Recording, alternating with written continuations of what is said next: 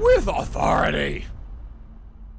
Welcome to another quarantine edition of our With Authority podcast as we socially distance. Although we're, we're getting close to coming out of the lockdown, Larry Beil, Casey Pratt, and our, our special guest today is A's outfielder Stephen Piscotty.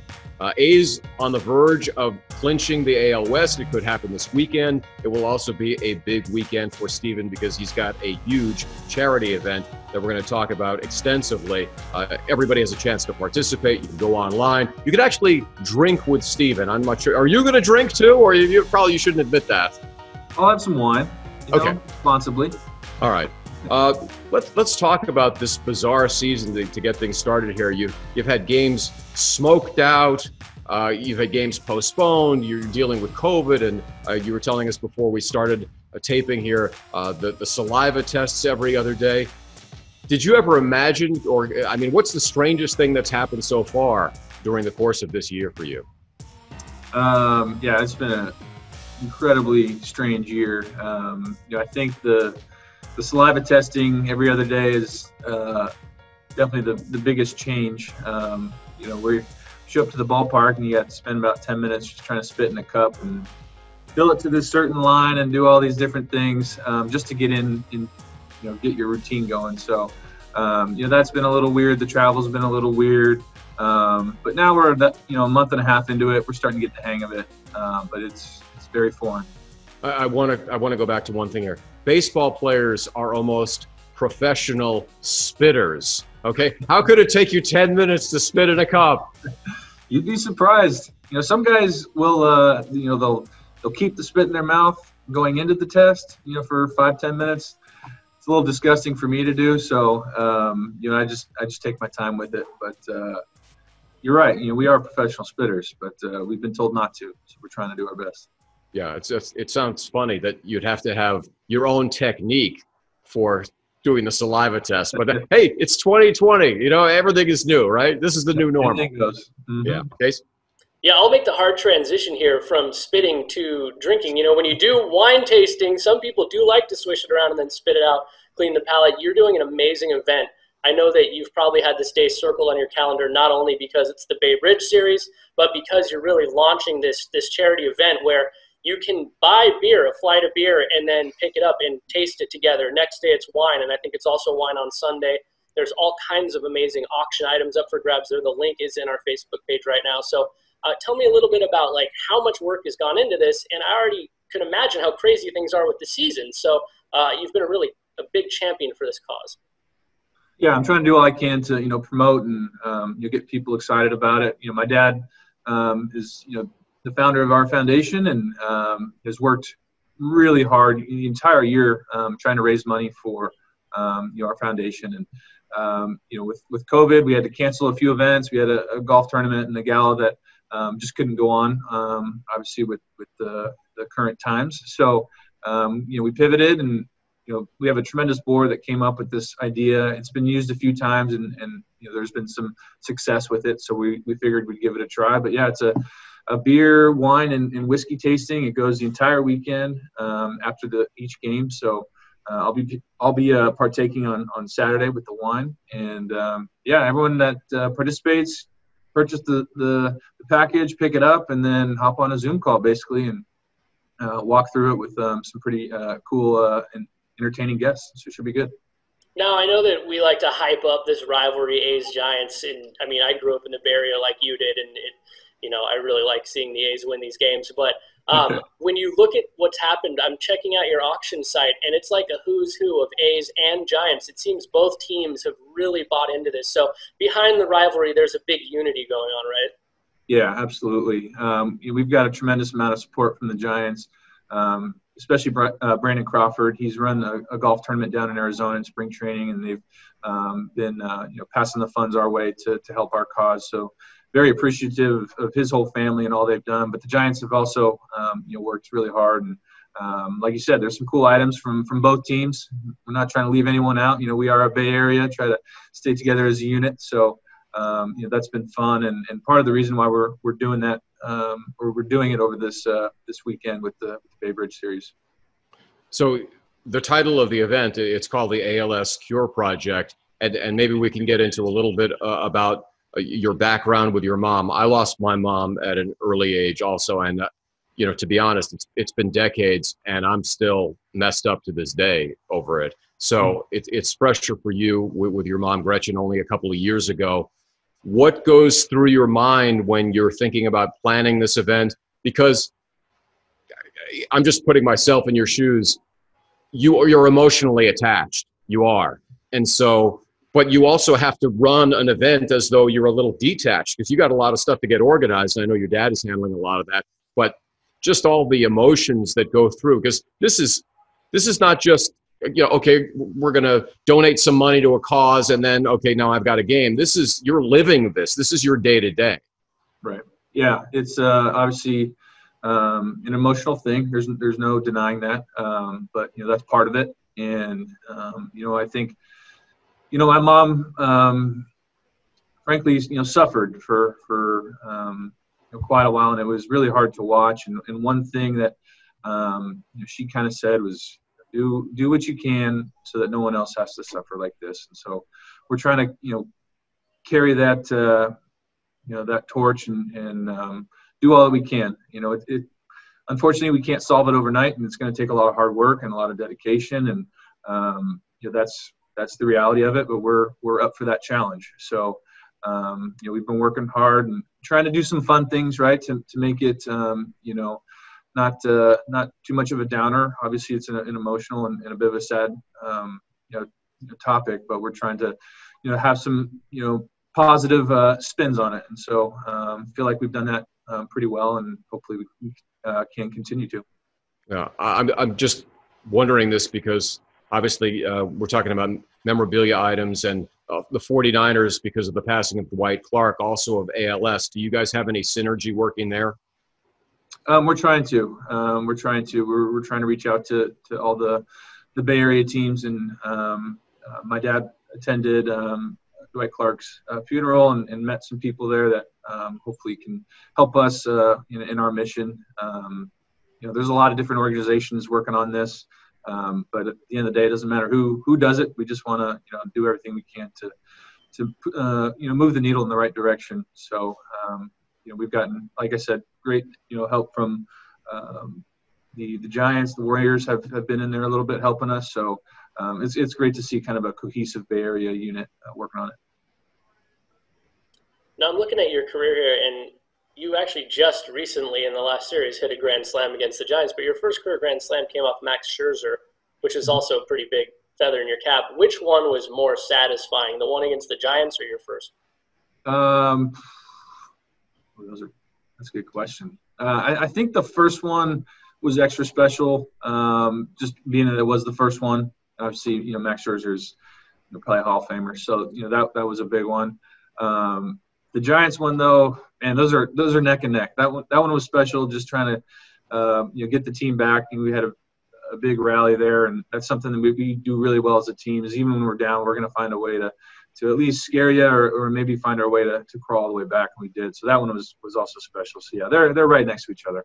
Now I know you grew up an A's fan. I grew up an A's fan too. I can't even imagine how satisfying it would be to be connecting on a grand slam in that series. And the way you guys won those games were obviously uh, really uplifting for you and deflating for them. So what was that kind of mood swing like in that series?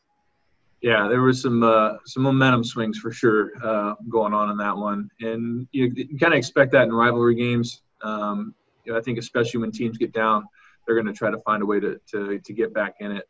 Um, you know, it's a, it's a lesson for, for all of us playing the game. You, know, you got to lead, you got to, you know, keep the, the pedal to the metal and, and keep going. Um, but I'm sure, you know, they're, they're going to come out, you know, this series swinging and, you know, they're playing great baseball. So um, it should be a good series coming up here. As Casey mentioned, you grew up in the East Bay, went to Amador Valley High, um, Pleasanton native, then went to Stanford. So obviously kind of the brainy bunch, uh, you know, in the clubhouse. Uh, Casey and I were talking beforehand about your major, atmospheric and energy engineering. So what's crazy is I went to the University of Hawaii. We had the same major. Yeah. No, no, no. Oh. no you got me. No, I, are you kidding? I, I, I, put makeup on for a living. I mean, so drop a little atmospheric and energy engineering knowledge on us, something that would you know, sound good while we were wine tasting that we would go, whoa, this Piscotty guy is brilliant? Oh man, um, yeah. So I studied that. It's all about you know green energy. So um, I could talk your ear off about some solar panels and, and wind farms and that sort of stuff. Uh, anything that's clean and green is kind of right up my alley and um, stuff to I don't know. It gets my interest. I think it's a pretty you know potent or you know it's a it's a topic out there today. So it's uh you can quite a bit of discussion about it. But I find it to be pretty fascinating to you know power things from from uh, the sun. I don't know. It's just it's really interesting. It a, so you were destined. You were destined to be wearing green and gold then, if it's all about green, right? I mean, that's you know obvious. Very fitting. Very uh, fitting. Uh, hey, wait. When are solar panel costs going to come down, Stephen? I mean, because right now we're kind of a uh, we. I just put some on my house, and you know, it's a 25 year lease, and we're not at the point where it's like, oh, this is this is we got to do this. It's sort of, eh, how long are you going to be in there? You know, that sort of thing they're they're coming down every year. I can guarantee you that. So um, I don't know if uh, waiting is the best option, but um, it'll be it'll become more and more affordable. I'm sure. Okay, thank you. brought to, to you brought to you by Sunrun. yeah, I'll try to make another hard transition from power to I guess powering your way to you have the magic number of three right now, and you can clinch it right here at home against the Giants. So I would imagine that that's a very special opportunity as a Bay Area guy. Yeah, I mean we're we've been working hard, you know, all year. We wanted to win this division, and we're we're knocking on the door. Um, doesn't matter if it's against the Giants, not necessarily, but um, you know the, these games are going to be you know high intensity, um, knowing where we are, um, being it that is a, a rivalry series. So um, you know it's going to be some good baseball, and, and, we're ready to roll. We had an off day yesterday after a, a tough stretch, so we're going to be fresh and and ready to go. So um, it, it, should be a lot of fun. We got our eyes on that division. We, we want to bring it home to Oakland. How weird was it having an off day? I mean, I think you guys played 16 games in 13 days. So uh, this this season, I mean, compared to a full season, has got to be maybe even more of a grind than the, the long haul usually is, right? Yeah, you know, we had a team meeting a while back, and and you know, with some of the stuff that we've you know dealt with throughout this season, um, while it's only been 60 games, it, it, it's felt like a full season. Um, you know, when we weren't playing, we were still, you know, getting ready and and preparing, um, you know, keeping that switch on, so to speak. We were we were uh, you know not taking days off. So um, now we're we're at the end of it and and coming in you know to a postseason hopefully. So um, you know it's it's been a long year, but you know it, it's it's good to kind of catch your breath on those off days. We got another one on Monday, um, and that should get us right for the, the rest of the way. Are you ready mentally, physically for bubble life? Because the playoffs will be in one of several bubbles that Major League Baseball is putting together, a la the NBA, which has worked really well. Yeah, um, I, I, think we know the importance of it. Um, you know, for keeping you know the integrity of, of the game. Um, you know, we've we've kind of had a little bit of it on the road when we when we travel. We're we're not allowed to leave the hotel and do certain things, so we we've gotten a little bit of a taste of what it's like when we're on the road. Um, and even when you know we're playing here, we'll be in a hotel. So um, it's it's going to be a bit of an adjustment, but we have had a little taste of it. So uh, hopefully it's it's not too crazy. Um, but obviously we want to keep the game going and, and not have any outbreaks. So that'll be yeah. of the utmost importance. Hey, and you hope you're in the bubble as long as you possibly can be, because that means you're in the World Series, right? Yeah. I, I want to, before we go, I want to ask you about one particular game, and I'm going to give you the date, um, and I'm wondering if you know exactly what I'm referring to. Okay. April 4, 2017. Okay, I'll give it to you then, because you, you played with the Cardinals, came up with the Cardinals. Cardinals Cubs, you got hit by the ball three times in one inning. So you're at the plate, you get hit by the pitch, kind of grazes your elbow. Then, as a base runner, you're heading to second, and they throw down, and you get hit in the back, I think. And then later in the inning, you're trying to score, and the related throw to the plate hits you in the head, and then they check you for a concussion, all of that. That is when I saw the, like the article, I was like, "This is the this is not this is not possible." Yeah, yeah, it was incredible. Uh, it was hard to believe, and then obviously I got hit in the head at the end. I didn't know where where I was for for a split second there.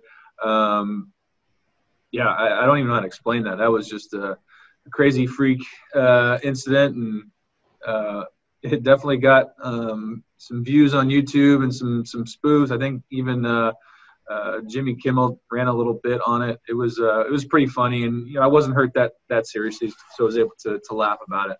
Um, but yeah, I couldn't believe that, and not many other people could. Have you ever seen that happen in any level of baseball?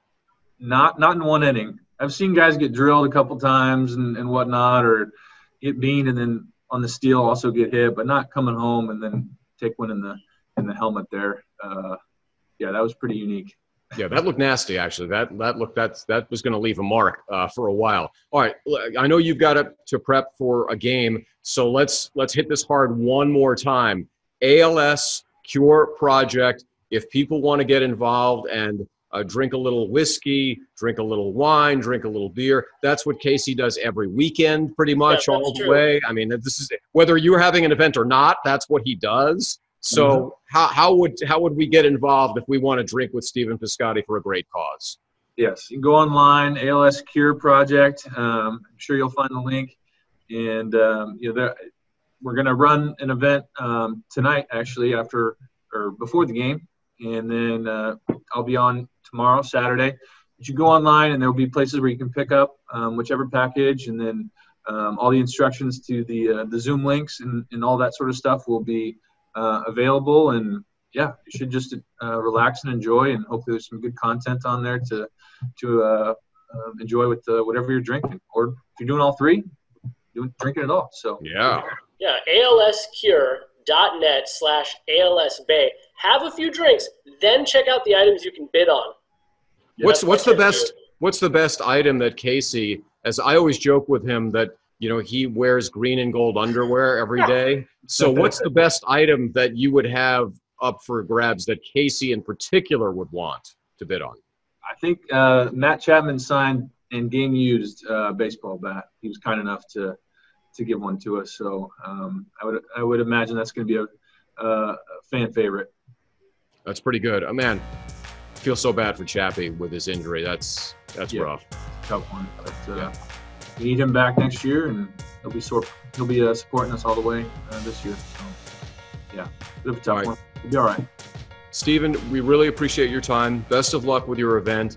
Please, please come back like yeah. in the playoffs, and and we can do this again because obviously everybody in the Bay Area knows you and wants to help. So we would love to have you on if, if you would be gracious enough with your time later on down the road. Absolutely, that'd be awesome. All right, Stephen Piscotty, the ALS Cure Project. Good luck and have a great weekend against the Giants. All right, thank you guys. With authority.